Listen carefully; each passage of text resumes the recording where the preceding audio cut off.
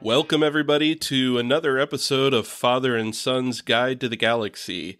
I'm your host, Anthony, and my partner in crime, my best bud, my son, Ethan, uh, is not going to be able to join us today. He is super busy right now with some school stuff, extracurricular stuff, and homework and academic stuff, and he's just got his schedule totally full right now. So I'm going to fly solo today, and we may do this from time to time when one of us isn't available, but we'll uh, likely be back next week with both of us doing the show. So today we're going to get into a controversial issue with regard to Star Trek The Next Generation. This issue is divisive. It's uh, it brings out strong opinions and I'm going to tackle it. And that is to say that I am going to defend Dr. Katherine Pulaski, who was the doctor on board the Enterprise D during the second season of Star Trek The Next Generation. So, Dr. Pulaski, just by way of background, if you aren't uh, super familiar with uh, The Next Generation, she was played by an actress named Diana Muldaur, and she actually had appeared in two episodes of Star Trek the original series, playing two different characters. So she wasn't a total newbie to Star Trek. She had some some experience with Star Trek before she joined the cast of The Next Generation in season 2. As we all know, the doctor that's most beloved aboard uh, the Enterprise during the Next Generation series is Dr. Beverly Crusher, played by the great Gates McFadden.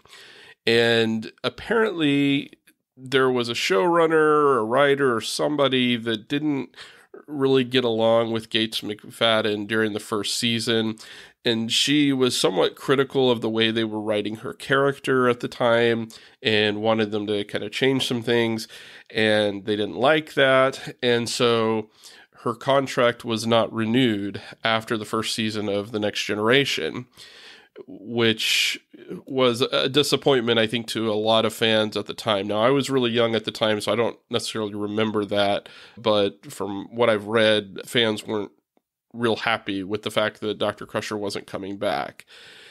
And they replaced Dr. Crusher's character with the character of doc- Dr. Katherine Pulaski and introduced her at the beginning of the second season. And as I mentioned, she's often considered a divisive character among the Star Trek fan base. But I would submit that Dr. Pulaski brings a valuable and unique perspective to Star Trek The Next Generation during that second season. And her character com- contributed to its depth and diversity. Uh, so let me stipulate before I go any further that Dr. Crusher is the best doctor for Star Trek The Next Generation. I'm super glad that she came back in season three and continued on with the series. Her character is incredibly important for multiple reasons, which we won't get into uh, today. So I will stipulate that Dr. Crusher is the preferred doctor aboard the Enterprise D. But I want to see if I can open some minds and maybe convince you that Dr. Pulaski's character isn't as bad as some people perceive it to be. So first of all, Dr. Pulaski is a highly skilled and experienced medical doctor, right? Just like Dr. Crusher. And she's able to demonstrate her medical expertise in critical situations, which is what's demanded of the chief medical officer aboard a starship. And she has the ability to make tough calls in emergencies and, and showcases her competence and dedication to her duty as a medical doctor and as a member of Starfleet she also is a complex character. Her character has some depth. And uh, sometimes in Star Trek, the characters can come across as a little one dimensional at times, right? But Dr. Pulaski is very much not that way. She has flaws, and I would suggest that her complexities make her relatable to the audience. The biggest storyline that season that kind of illustrated this part of Dr. Pulaski's character is her skepticism towards data and and some of the other crew members and it, it, her her unwillingness at the beginning to accept that data was a sentient being right she considered him just an android a robot but uh, she struggled with that because the rest of the crew obviously treated data just like anybody else on the crew and considered him a a real person, a real being, so to speak. And so uh, this skepticism that Dr. Pulaski has, I think, adds a layer of realism to her character. And as the season progresses, you see her character evolve with regard to what she thinks about data she eventually recognizes that he has value and that he's competent and then finally comes around to recognizing that data is to some extent a sentient being and she doesn't treat him very nicely at the beginning but towards the end of the season she does seem to accept him as a full member of the crew of the enterprise she's also kind of quirky. She had like this transporter phobia, which I think was a nod to Dr. Leonard McCoy from the original series. And I just think her character was kind of interesting.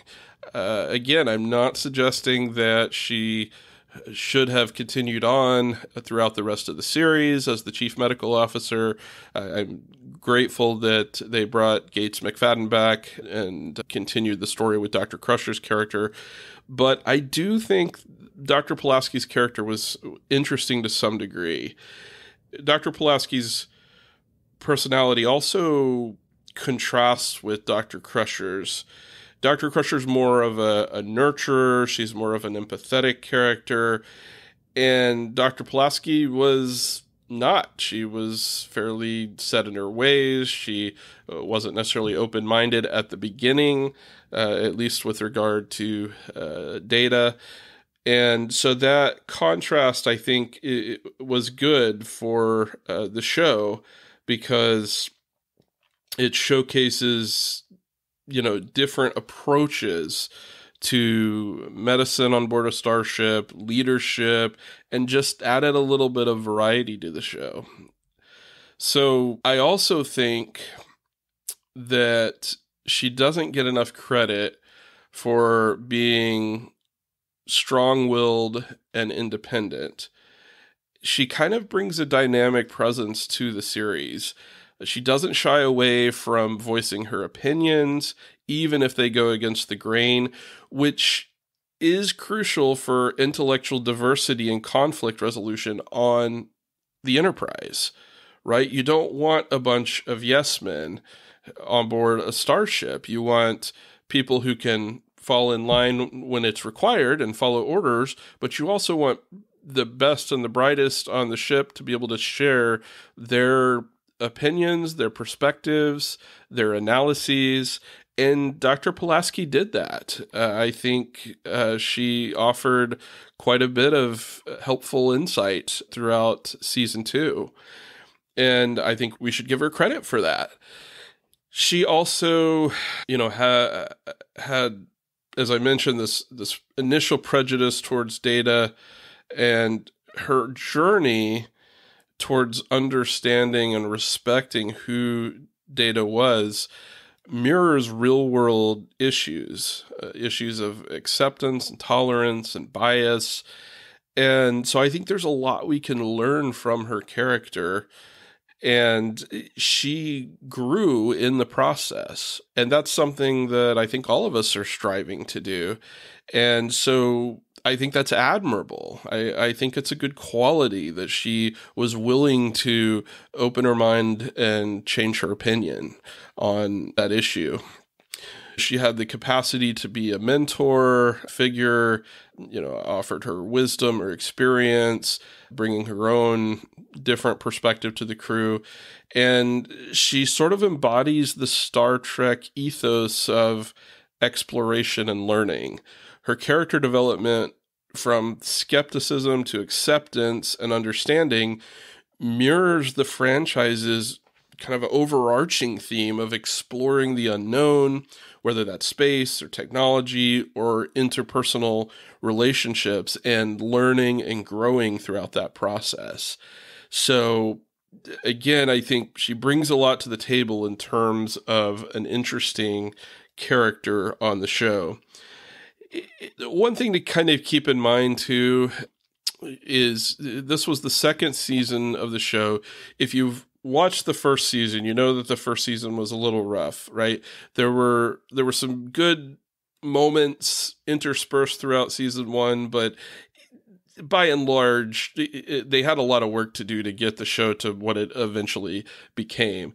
In season two, I think they're still kind of figuring things out, right? They're they're they're kind of trying to uh, figure out how these characters are going to uh, interact with one another and what the relationships are going to be, what the dynamic on the ship is going to be, and so Dr. Pulaski's character, to the extent that her character wasn't a great character. And again, I submit that she was a good character, but to the extent that you think she maybe wasn't a good character, I, I, there may be some fault that lies with the writers of the show uh, for that, for any deficits in her character or character development. Uh, so that's just something to keep in mind because they were still in the very early days of the next generation uh, when they introduced Dr. Pulaski. So, just to kind of summarize, I would argue that Dr. Pulaski's character deserves a reevaluation. I think her depth, her professional acumen, and just kind of the dynamic that she brings to the cast enriched the narrative tapestry of Star Trek The Next Generation. She exemplifies the series' commitment to showcasing diversity, showcasing complex characters, and uh, you know navigating the challenges of interpersonal relationships in outer space you know traveling throughout the galaxy together so all in all I liked Dr. Pulaski. I I liked her character. I thought she added a lot to the show and I think that maybe she doesn't deserve all the hate that she gets. So that's my defense of Dr. Pulaski if we wanted to do a deep dive into the character, we could spend a lot more time on this and go episode by episode, but I, am not going to do that. But I just thought this would be an interesting topic to talk about today since my my co-host Ethan isn't here with me. Uh, he hasn't watched as much of the next generation uh, as I have uh, yet. Yeah, he'll get to it eventually, and so uh, this was a, a, topic I thought I could share my thoughts on without uh, necessarily requiring his perspective on it. Unfortunately, for the actress Diana Muldaur, uh, she apparently didn't get along with the rest of the cast Patrick Stewart talks about this a little bit in his memoir, and he says she was kind of removed from the rest of the cast and just didn't didn't connect with them. And the, by the end of the season it was pretty clear that she wasn't going to be a good fit for the show.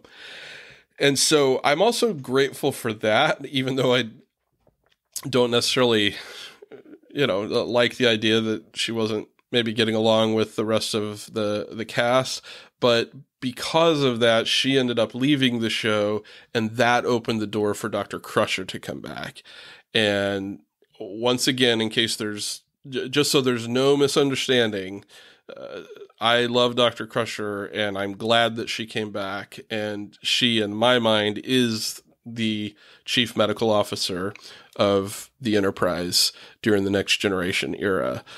So, yeah, that's my argument. And if you uh, disagree, that's totally fine. We can respectfully agree to disagree on this, but just give it some thought. Reconsider whether Dr. Pulaski's character adds value to the next generation in season two. I, I think it does if you're looking at it objectively. All right, well, that's all I've got for today. This will be a, a, little bit shorter episode. So I appreciate everybody tuning in. We will be back next week, most likely with b- the both of us, and look forward to continuing to make content and talking about science fiction and Star Trek and all that. Please follow us on social media if you haven't done so already. Our social media handles are in the show description. You can also email us if you have questions or ideas or of topics or, or themes that you would like us to talk about on the show. We'd love to get feedback from you. And again, we just thank everybody that's listening to the show. Please share the show with your friends and family and eh, invite them to listen as well. We we want to continue to grow our listener base. We're having a lot of fun doing this and we hope to continue doing it for some time. All right, with that said, have a great week.